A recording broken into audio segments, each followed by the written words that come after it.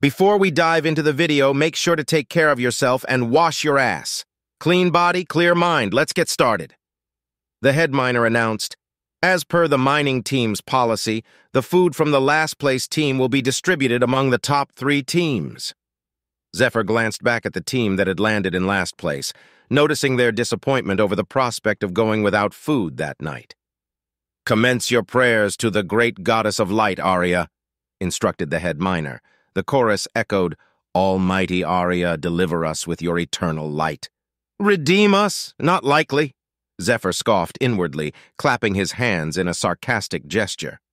The temple devoted to Arya, the goddess of light and one of the three supreme gods, served as the predominant religious institution and the primary moneylender in the region. Among its inhabitants were many who had either lost their homes to monsters or were once adventurers like Zephyr. However, once indebted to the temple with overwhelming medical expenses, they became slaves to repay their debts. For Zephyr, bearing the slave mark meant being tethered to this place indefinitely. If he dared to depart without permission, the mark would trigger a fatal consequence. His heart would cease, ending his life instantly. Zephyr aimed to settle his debts swiftly, eager to secure his freedom and advance to the subsequent phase of his strategy. With determination burning in his eyes, he vowed, Tartarus, you won't defeat me so effortlessly this time. I'm going to retaliate for everything you've done. He placed a hand over his chest, addressing his lover. And Altair, this time I'll shield you. I won't let you down.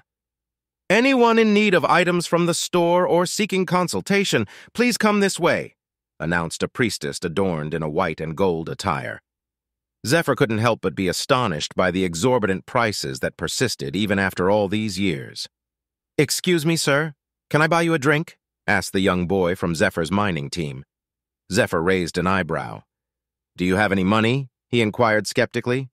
I just got some, and I can't afford anything expensive, but I appreciate you for saving me from those guys earlier, and thanks to you, our team came in first, the boy replied earnestly. Everyone in our team is really weak, so we usually end up in last place. This is almost the first time we've earned any money, he explained further. I understand now. That's why they targeted him.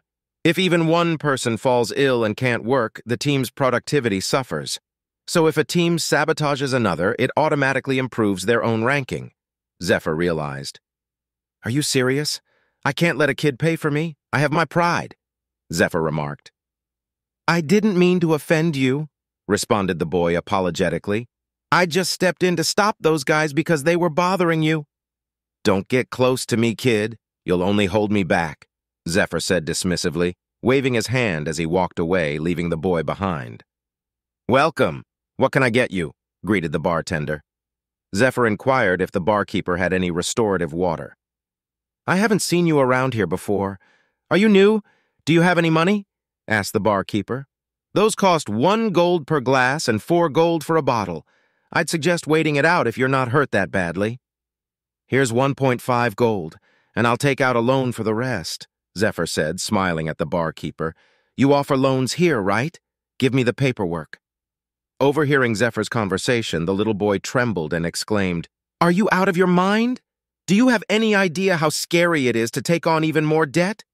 They already take one gold from our daily wage of two gold to pay our debt. If you don't have any income, you go into the red the boy yelled at Zephyr. Zephyr simply told the boy to be quiet as he popped open a bottle of recovery water. Whatever. I'll just pay it back, he said as he drank the recovery water. The recovery water was a popular item at the temple, known for its ability to slightly regenerate endurance. However, what most people didn't realize was that it could significantly boost one's mana if consumed in large quantities. Normally, drinking over 10 bottles at once was required to get even a modest boost, making it less effective. But with this new perk, it became as potent as any potion available. Perk 2, Hermes' Hidden Skill, maximizes the potency of all potions, increases effectiveness by 500%. I can't earn much from the mines anyway. There's no bonus for working extra hard. So, what's my plan, you wonder? Well, what's that?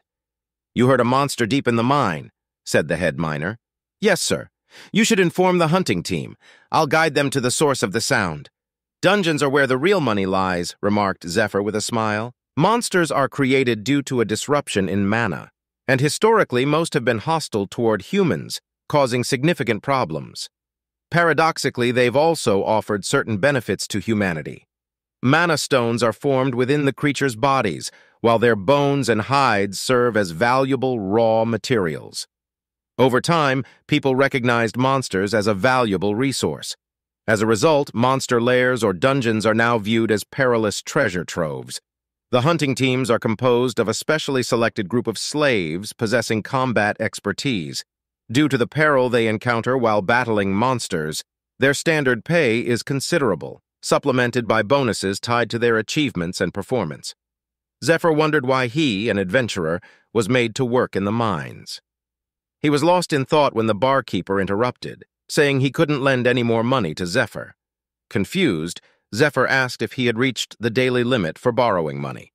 The barkeeper replied that he had already borrowed the maximum amount allowed. Feeling disappointed, Zephyr worried if he'd have to resort to stealing.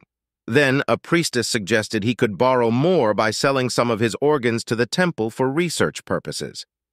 Zephyr hesitated, considering the offer.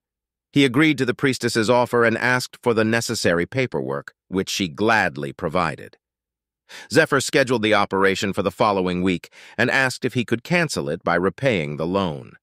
The priestess reassured him, saying they weren't predatory lenders, and he could cancel the operation by paying back the loan. Shocked, the barkeeper asked, Have you lost your mind? Why would you sell your organs? After completing the paperwork, Zephyr requested more bottles of recovery water from the barkeeper, who grumbled in response. It's your life, not mine, he muttered. The priestess observed Zephyr with admiration, thinking, Wow, sir, you're really something. The barkeeper sighed, feeling resigned. There goes another one who'll end up in the lab. The priestess was taken aback by the number of bottles Zephyr drank at once. After finishing all the recovery water, Zephyr smiled, feeling satisfied that he met the requirements. Suddenly, three knights appeared and inquired, Are you Zephyr? The one who's going to guide us to the monster? Zephyr grinned, thinking it was perfect timing. Yes, that's me, he replied. One of the knights introduced himself, saying, I'm Gote, the leader of the recon unit, and these two behind me are Dale and Marco. I don't have night vision, but I can use mana detection, Zephyr mentioned while shaking the knight's hand. Night vision helps to see in the dark, whereas mana detection spreads mana to heighten one's senses. These skills are essential for sneaking into a dark dungeon without alerting any monsters inside. That'll save me from buying a night vision potion. If you're ready, we'll leave right away, said one of the knights, handing his belongings to Zephyr. The third knight, whose face was obscured by a hood, smirked. Wow, a mana-using miner? Cool. Is he going to beat the dungeon for us? he added. Gota reprimanded, Shut up, Dale, as Zephyr followed behind the three knights. Zephyr recognized one of the people in the group. He knew two of them were new to him. He had an idea about their fate. Two might not make it out of the dungeon alive. He had a plan to use this to his advantage. Approaching the miner's cave, they encountered a group of knights waiting for them. They were the standby unit. One of the knights asked them to extend their hands. He tied a blue rope around each person's wrist. These are magic bracelets. If something happens to one of you, the matching bracelet on your wrist will break. Then you can call for help from the main base, he explained. But it was just a recon mission, so they should be safe if they were careful. Good luck, he said, waving them off. As they entered the mining tunnel, Zephyr took the lead while moving deeper in. Inside, dog-like monsters armed with fire and weapons were patrolling. A small stone accidentally hit the wall near the monsters, catching their attention. Engrossed by the rolling stone, two knights stealthily ambushed the creatures from behind, swiftly cutting their necks. The recon unit's main tasks are to scout for monsters and collect details about the dungeon. With this information, a strike unit is assembled, using their strength to clear the dungeon. That's typically the process. Sir, our task is just to explore the dungeon. Let's not take any extra risks, advised Dale. What if there's a bunch of monsters inside, or stronger ones? There are only three of us, Dale stated. No, there are four. That's enough to handle kobolds, replied Gota. Are you serious? He doesn't count. He's just carrying our stuff. How can we manage a dungeon by ourselves? Dale pointed at Zephyr. Okay, let's calm down a bit. Sir, do you have a plan? I'd like to know before we make any decisions. Smirking, Gote asked Zephyr to take the moonbush leaves and berries from the pouch. He explained that if those were ground up and mixed with kobold excrement, it would emit a scent resembling a female kobold in heat. Dale covered his mouth from the stench as Zephyr began to grind the berries. The smell is quite intense, strong enough to travel over 300 feet. The kobold began panting as it caught a whiff of the potion, then dashed swiftly toward the scent. Eventually, the kobold slipped and fell into a hole, a trap set by the knights. See? I told you it would work, Gote remarked. Wow, you're a genius sometimes, sir, Marco praised. Sometimes? You mean all the time? replied Gote with a chuckle. How did you even think of bringing that plant? I've never heard of it, questioned Marco. Gote laughed and credited his insight to experience and maturity, but in truth it was Zephyr who had informed him about it. In Zephyr's previous life before being resurrected, he worked alongside Gote in the same unit after being transferred to the hunting team. Despite his desire for recognition, he never got the chance to achieve it. Just before the team meeting, Zephyr spoke to Gote privately, mentioning that he had ventured in and checked out the area by himself the day before. Everything's clear, Zephyr informed Gote. You went in alone? How many lives do you have? Gote asked, surprised. In his previous party, Zephyr was responsible for reconnaissance, and he had a talent for locating things. So with a plan like that, you think the four of us could handle the dungeon by ourselves? Gote questioned. It's your call, sir, but I believe you should think about it, Zephyr responded. Gote grinned. It'd be a shame to share an easy dungeon like this with others. This guy could be really helpful. Moonbushes aren't easy to find either. I appreciate his preparation and knowledge about hunting monsters, I also admire that he gives credit instead of taking it for himself, Gote thought. As the head of the unit, I could easily get him transferred to the hunting team with just a word to the Human Resources Department. He's probably trying to impress me for that reason. Too bad. I can see he's a hard worker, but I'm not that desperate. Clearing one little kobold dungeon isn't enough to impress me. Nevertheless, I'll gladly take credit for clearing this dungeon, considering your efforts, mused Gote as he handed Zephyr a dagger. All right, that should pretty much handle them, Gote remarked, spearing a kobold. I didn't expect this to be so simple, chuckled Marco, as he slammed another kobold with his hammer. Shame the mana stones won't fetch much, dealing with just kobolds. This path's clear now too, said Zephyr. All right, then let's go and finish up, Gote replied, interrupted by Dale's caution. Hold on, there's something ahead. He spotted scattered bones. Are these leftovers or animal bones? Zephyr questioned. No, these look like kobold remains, Dale answered before a massive claw grabbed him and hurled him across the chamber. Marco quickly imbued his hammer with mana, shielding them. I thought we were done. What in the world is hiding here? Never mind, let's cover up and get out. My mana shield can withstand anything, Marco asserted, but the creature's tail shattered his shield, striking him hard. Gote, surprised, uttered, That tail? Impossible? The tail struck Gote once more. Beyond the mining tunnel, the standby knights noticed three bracelets snapping at once. What's happening in there? Blood dripped from Gote's arm as he struggled to comprehend how he survived the attack. When he glanced up, he saw Zephyr blocking the beast's assault. Zephyr's perk 1, the skill wall of iron, activated, but his arms throbbed from the impact. The wall of iron couldn't fully deflect it. This creature is likely less than a year old, yet it's incredibly potent. The monster's tail lifted Dale's body while it fixed a fierce gaze on Zephyr, a predator. It manipulates pheromones to deceive other monsters, making them believe it's part of their pack. Then, once it matures, it turns on those monsters, consuming them and abandoning its nest. May I borrow this? Zephyr asked. Gote, taken aback, questioned, Wait, what's going on? Zephyr picked up the spear, a smirk appearing on his face. Finally, a chance to get properly warmed up. Blue mana formed in his left hand. Now, tell me something. How would you prefer me to end you? Perk 3. Silver Key. Unlocks a door in an ancient castle. Grants the holder access to a silver room, allowing the storage of items anytime and anywhere. Currently stored in the left hand. Essentially, it works like an inventory. Dragonweed and a piece of cloth. Dragonweed is a natural tonic that calms the mind. Zephyr, concentrating, gestured for Gote to step aside. He wrapped the bandage around the spear he had just picked up. This is going to be intense, Zephyr warned Gota, showing his strong determination. Shocked by Zephyr's resolve, Gota asked, What are you doing? You're not even a soldier! But Zephyr ignored his remarks. As Gota slowly rose to his feet, he grappled with his inner thoughts. I know my fate will come one day, but I won't meet it cowering behind a miner like this.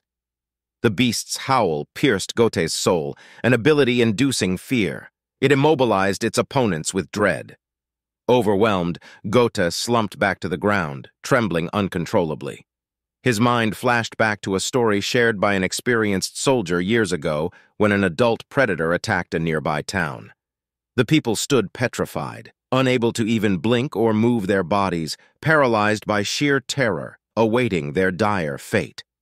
Witnessing the scene before him, Gota was astonished. Zephyr stood undeterred by the predator's fear-inducing skill, fighting the monster without succumbing to paralysis. As the predator roared, Zephyr evaded its attack, swiftly maneuvering and then charging at the beast. It seemed exactly as Zephyr anticipated, adept at negating fear. He expelled the dragon weed, a tonic known for calming the mind. Zephyr's second perk activated, significantly boosting the potency of all potions. Out of the nine perks, only one functions as a weapon. Right now, I can't utilize it due to the enormous amount of mana it demands. However, handling a creature like that should be effortless with this number 68 of the 72 deadly poisons of Fade Belial. Zephyr recollected a conversation from his previous life with Fade. Are you certain about this, Fade? You've dedicated your life to creating these formulas. Are you sure you want to freely give them away? Zephyr inquired. Fade responded, What's the point of keeping them to myself when the world is heading towards its end? I'd rather see them used than wasted. In fact, I earnestly want you to use them. If my poison can eliminate even one more of those monsters and save just one more life, it would bring me immense happiness. Zephyr sliced at the predator, injuring the creature. Belial, a lethal poison derived from a common plant, permeates the bloodstream, corroding organs and inducing excruciating pain. This poison's effects, crafted by the sadistic master of poisons, Fade, take about three minutes to fully spread through the body. Zephyr continued to strike the predator, but it retaliated by thrashing its tail, slamming Zephyr against a wall. With a deafening roar, the predator lunged at him. In a swift move, Zephyr tossed the potent poison into the beast's mouth, leaping over it as it collided into the wall where Zephyr had just been standing. The creature bellowed, a pool of blood trickling from its mouth. With just a minute left, or perhaps even less, Zephyr gripped his spear, acknowledging that his current skills weren't enough for a complete escape. He had two options wait for the predator to collapse or defeat it. The predator lashed its tail at Zephyr once more, propelling him into the air. Zephyr held on, biding his time until the deadly poison took effect. When he freed himself from the predator's tail, he readied his spear to strike at the creature's head. Driving his spear into the beast's eye, it elicited a tremendous roar of agony. As the predator swung its tail again, snapping the spear in two, Zephyr seized the broken piece and drove it once more into the beast's eye. Following that, he used the dagger given by Gota to pierce the other eye.